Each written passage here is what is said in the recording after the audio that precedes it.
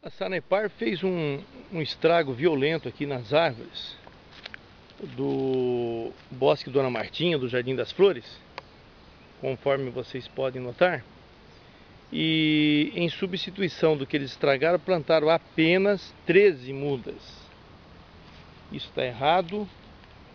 Sanepar deveria plantar para cada árvore abatida pelo menos 3. Aqui nós tínhamos umas 50 árvores eles tinham que ter plantado pelo menos umas 150. Plantaram 13.